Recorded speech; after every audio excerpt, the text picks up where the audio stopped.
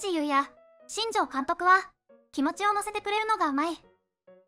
ドラゴンズ郡司選手、ようやく、新庄監督のコメントを聞いて、日ハムの新庄監督が、山本匠投手と一緒に先発バッテリーを組んだらいいじゃん。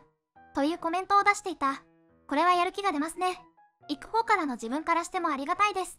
気持ちを乗せてくれるのがうまいですね。これは日ハム中日療法のファンも見てみたいって思うもんだ。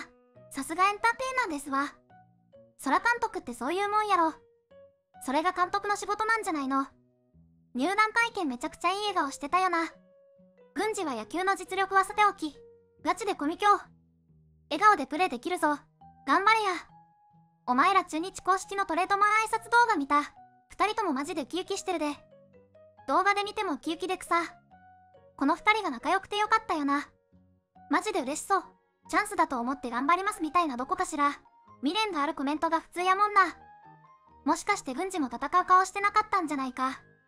ハムに来たい若手って多そう。逆に中堅ベテランはあんま行きたくなさそう。